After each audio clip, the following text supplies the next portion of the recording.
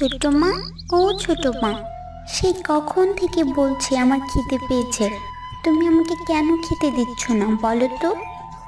মারে হাতে আমার কত কাজ। এত কাজ রেখে তোকে খেতে দিই কীভাবে বলতো? আগে আমার কাজ শেষ হোক, আমার হাতের কাজগুলো শেষ করে তবেই না তোকে খেতে দেবো, তাই না? বুঝতে পেরেছি। তুমি আমার সৎ মা তো, তাই এভাবে বলছো। যদি আমার নিজের মা থাকতো সে তার হাজার কাজ ফেলে আমাকেই আগে খেতে দিত। মারে তুই আমাকে এভাবে বলতে পারলি? আমি তোকে নিজের মেয়ের থেকে কোনো অংশে কম দেখি না। তোর জন্য আমি কত কিছু করছি। তাও তুই সবসময় আমাকে এভাবে বলিস রে মা। চুপ করো তো এখন। এভাবে ন্যাকা কান্না কাঁদবে না আমার সামনে। তোমার এসব ঢং আমার আর ভালো লাগে না। শোনো, আমি খেলতে যাচ্ছি। এসে যেন দেখি আমার খাবার রেডি হয়ে আছে। এই হলো টুনটুন, আর এই হলো টুনি।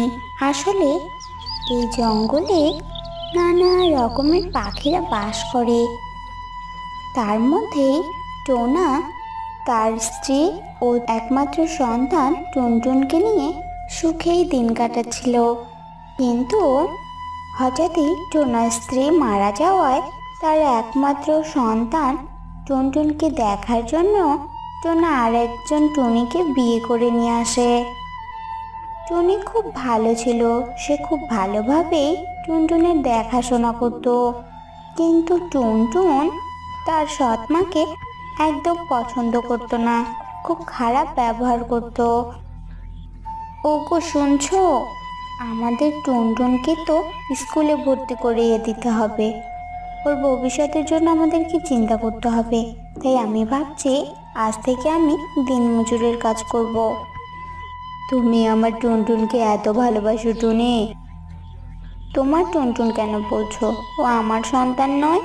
আর আমাদের সন্তানের জন্য আমরা ছাড়া কে ভাববে বলো? তুমি বরং খাবার ব্যবস্থা করো। আর আমি আজ থেকে দিনমজুরের কাজ করব। এরপর থেকে টুনি দিনের বেলা দিনমজুরের কাজ করত আর টুনটুনের স্কুলের ফিস জোগাড় করত। এভাবেই তাদের দিন কাটছিল।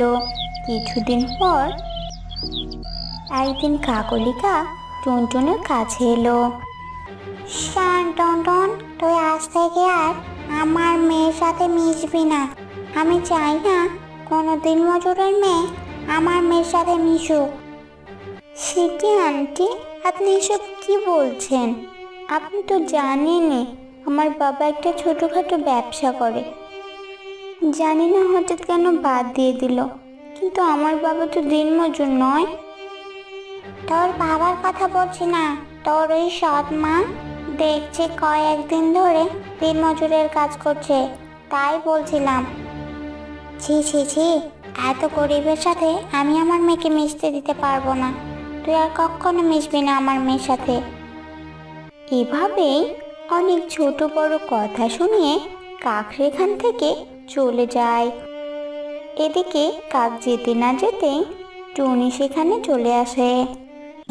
মা চুনচুন, দেখ তোর জন্য আমি কত খাবার নিয়ে এসেছি। দেখ মা, এখানে তো সব পছন্দের ফল আছে। খেয়ে নে খেয়ে নে। টুনটুন হাত থেকে ব্যাগটা নিয়ে ফেলে দেয়। খাব না আমি তোমার নিয়ে আসা খাবার। তোমার জন্য আমি আমার বন্ধুদের সাথে মিশতে পারি না। তোমাকে কে বলেছিল দিনমজুরের কাজ করতে? তোমার জন্য আমি সমাজে মুখ দেখাতে পারি না। সবাই আমাকে গরিব বলে। আমি খাব না তোমার রান্না খাবার। চলে যাও তুমি। চলে যাও এখান থেকে। এর কয়েকদিন পরে চুনি ভীষণ অসুস্থ হয়ে পড়ে। টোনা, তুমি আমাদের টুনটুনকে দেখে রেখো। আমি তো অসুস্থ, তাই এখন আর ওর খেয়াল রাখতে পারি না। তুমি ওর খেয়াল রেখো। তুমি এভাবে বলো না টুনি, আমার যে খুব কষ্ট হয়, তোমার কিচ্ছু হবে না। আমি এক্ষুনি তোমার জন্য ওষুধের ব্যবস্থা করব। মারে টুনটুন, তোর মা তোকে অনেক ভালোবাসে। আর আজ তোর মা অসুস্থ। তুই তোর মার একটু খেয়াল রাখিস। আমি দেখি কোথাও থেকে কোনো ওষুধ পাই কি না এরপর টোনা সেখান থেকে চলে যায়। এদিকে টুনটুনও তার মায়ের খেয়াল না রেখে খেতে চলে যায়। দেখতে দেখতে দুপুর গড়িয়ে বিকেল হয়ে আসে। টোনা হাতে করে কিছু ওষুধ নিয়ে বাড়ি ফিরছিল। সে দেখল তার মেয়ে টুনটুন বাইরে খেলছে। মারে, তোর মাটা এত অসুস্থ, আর তুই তার দেখাশোনা না করে এখানে খেলাধুলা করছিস?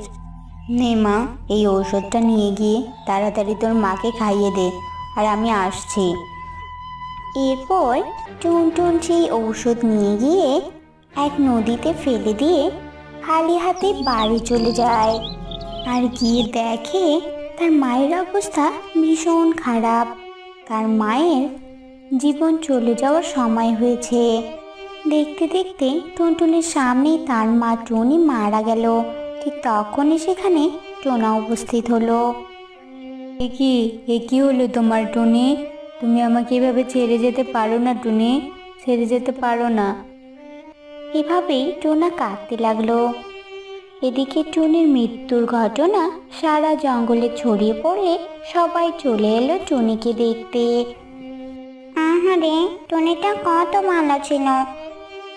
টুনটুন তোমাদেরকে আমার একটা কথা বলার ছিল।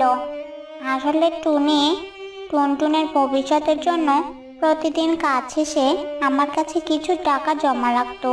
এই নাও এই সেই টাকা। মা আমাকে এত ভালোবাসতো? আর মাকে আমি কতই না কষ্ট দিয়েছি, কখনো মায়ের সাথে ভালো ব্যবহার করিনি। মা, ও মা, তুমি ওঠো না মা, ও মা মা গো, ওঠো না মা, ওঠো না। এভাবে টুনটুন তার ভুল বুঝতে পেরে তার মাকে ডাকতে থাকে। আর টুনি এত ভালো ছিল যে তার মৃত্যুর কারণে জঙ্গলের সকল পাখিদের চোখে পানি চলে আসে। এরপর থেকে টুনটুন আর কখনো কারোর সাথে কোনো খারাপ আচরণ করতো না। বন্ধুরা, ভিডিওটি ভালো লাগলে লাইক, কমেন্ট এবং শেয়ার করো এবং এরকম আরও নতুন নতুন ভিডিও পেতে চ্যানেলটি সাবস্ক্রাইব করে আমাদের পাশেই থাকো। ধন্যবাদ।